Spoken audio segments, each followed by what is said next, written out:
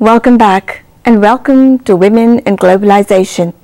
This particular segment on this show will be hosted by Dr. Satish Misra of the Capital Forum. Today, Dr. Sahab's guest is a beautiful girl by the name of Miss Neha Sharma. The topic in discussion is fundamentalism and impact on women's life. Very interesting. Come on close and let's have a look. Namaskar, Satish Misra, women's world view के इस segment women and globalisation में आपका स्वागत है।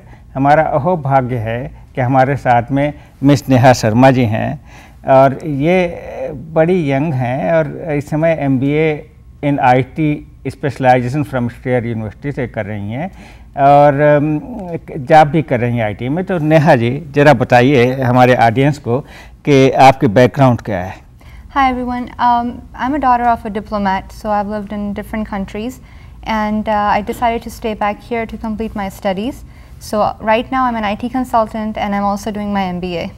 Uh, who, who is your father? Uh, what kind of assignment he has? Uh, well, right now he's in Prague, Mhm. and uh, he's like uh, a section officer, I guess you can say.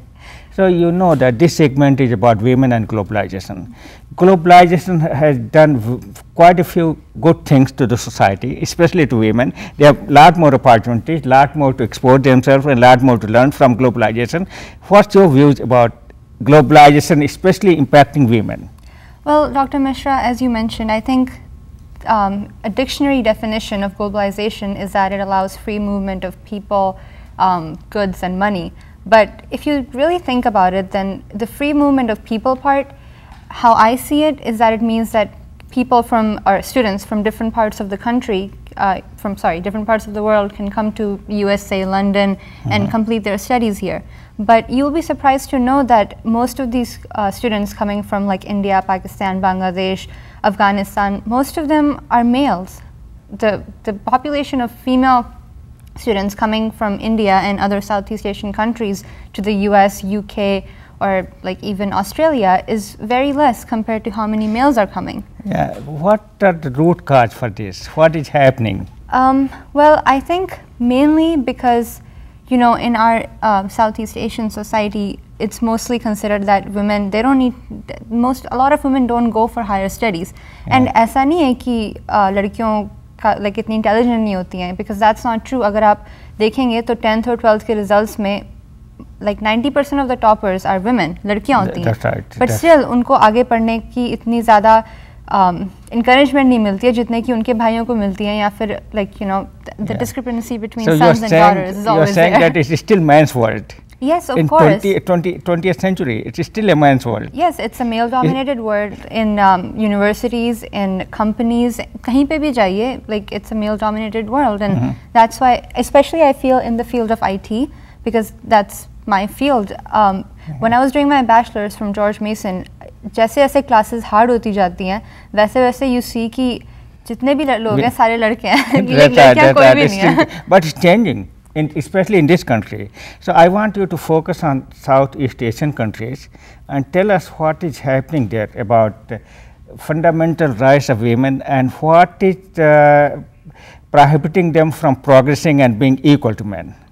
Well I think जो सबसे बड़ा दोषी है women को आगे बढ़ने से जो रोकता है वो हमारी सोच है like how our culture is it's from the beginning you know. The sons are taught that you have to study you have to take you have to make sure you have a good job you have to take care of your family you know you you need to go abroad for your studies. Your parents will do anything they have to you know to ensure that you get that opportunity to go outside and study. और चाहे अच्छे से अच्छे college में तुम्हारा पैसे दे के हम एडमिशन कराएँगे तुम्हारे मार्क्स उतने अच्छे नहीं भी आ रहे फिर भी तुम्हें अच्छे कॉलेज में डलवाएँगे। और वहीं पे जहाँ अगर किसी लड़की के अच्छे मार्क्स आते हैं तब भी there like oh science medical लेके क्या करना है? जस्ट टेक इकोनॉमिक्स और something like that you know आगे आगे क्या करना है?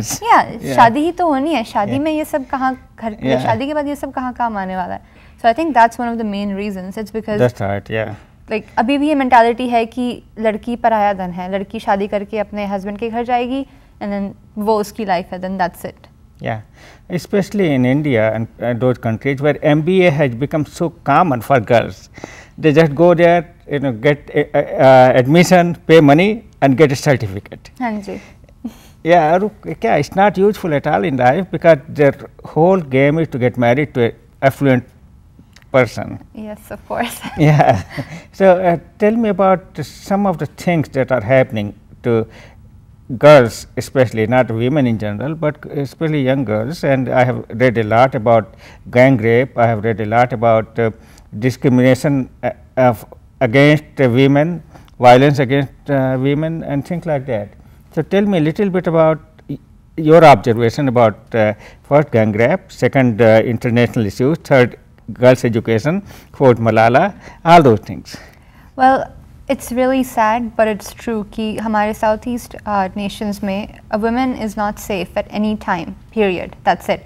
चाहे वो सुबह का टाइम हो चाहे वो शाम के छः बजे हो या चाहे वो शाम के like नौ बजे हो here like I have been out with my friends so many times to see a movie past 10 o'clock and you don't even think about कि हम वापस सेफली तो आ जाएंगे ना because we know कि यहाँ का infrastructure ऐसा नहीं है बट इंडिया में जैसे दामिनी के गैंग रेप का जो केस हुआ it was only nine thirty at night and वो भी मूवी देख के वापस आ रहे थे it was like they were going somewhere at that time and that happen and I mean it's sad but it's true कि किसी भी टाइम पे इंडिया में वुमेन सेफ नहीं है एंड जैसे मलाला के साथ हुआ she was shot in like in public pretty much twice on the like you know the bullets went through her head and this was in broad daylight and there have been no arrests made because it's been done by um, Taliban extremists. So that's it. Like एक लड़की को तुम उसी के देश में who's actually an education activist. She's the youngest member. She, she's the youngest person to be nominated for the Nobel Peace Prize. That that really great honor for her.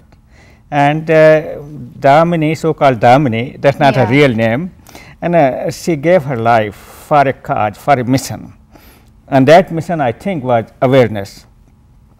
She definitely increased global awareness about uh, crimes being committed against women. Yes. अत्याचार जो औरतों पे हो रहा है उसकी awareness आ गई और डामनी was honoured even bye United states as award of uh, bravery or something like that and Michelle Obama gave that award Damini's parents were not able to come Hanji. but uh, they wrote a very nice excellent letter I read that letter very moving letter so women that Damini case has raised a lot of global awareness about young girls, about women in general. Hanji. And Malala, she stood for something that was educating women, educating girls.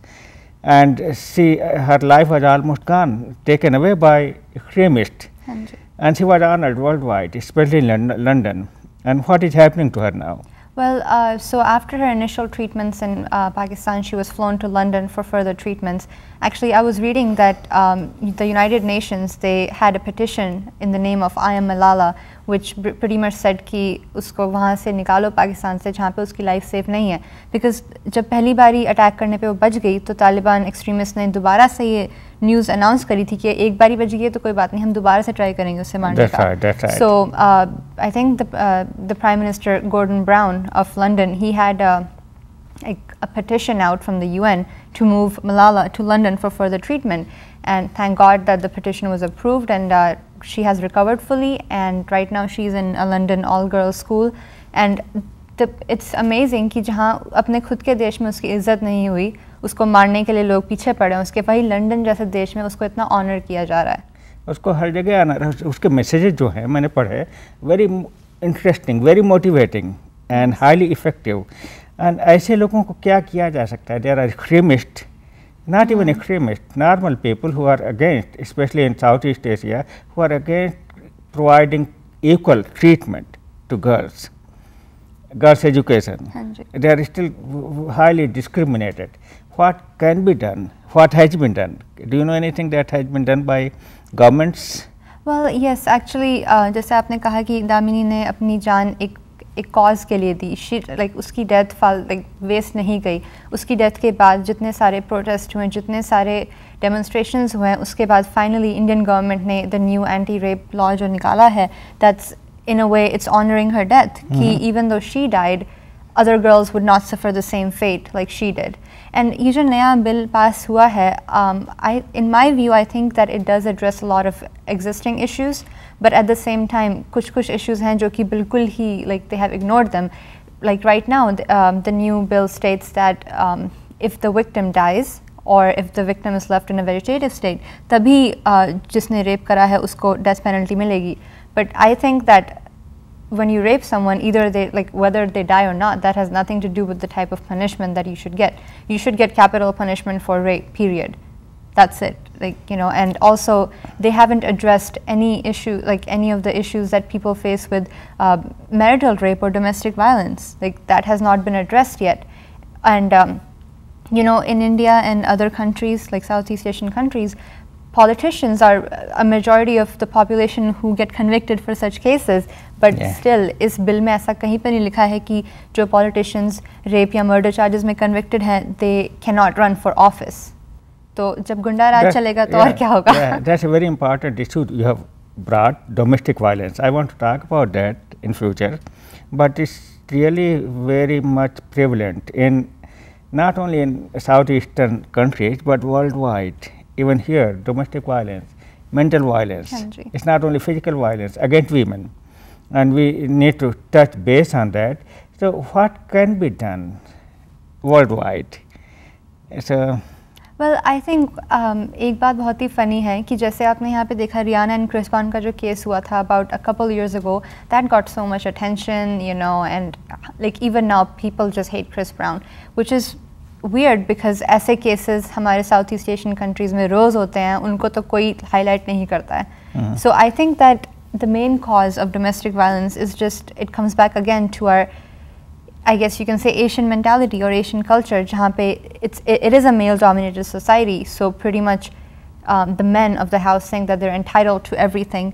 They objectify women as mere sexual objects. They do not treat women equally. And जब कोई छोटा लड़का अपने घर में अपने dad को अपनी मॉम को मारते हुए देखेगा और समथिंग लाइक दैट अब्यूज करते हुए देखेगा तो ऑब्वियसली वो बड़ा होकर भी अपनी वाइफ के साथ वही करेगा। लर्न करेगा so it's a cycle and we need to break the cycle I think we as youngsters we owe at least this much to the society if for nothing else then कम से कम इंसानियत के नाते ही I think the best way to prevent such issues from happening in the future is that कि हम अपने अपने आने वाली जनरेशन को ये सिखाएँ कि भगवान ने वुमेन और मैन को इक्वली बनाया। In fact women are strong enough to bear a child so obviously like some might argue that women are stronger than men but we should uh, instill the, those values in our youngsters कि women and men are equal. We should raise awareness among kids you know and So you are saying awareness, strict enforcement of the rules, yes. And uh, proper education, and uh,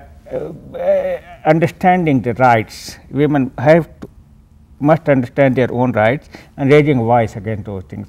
So you heard her, and you heard everyone, and uh, thank you very much. And uh, any last minute statement? I would just like to say कि um, these type of cases happen a lot, but that's and they have been happening since how many years we don't know. But this does not have to be what happens in the future. We can stop that, and we owe ourselves at least that much. We owe the victims that much to help stop such kind of violence from happening in the future. Thank you very much. Namaskar.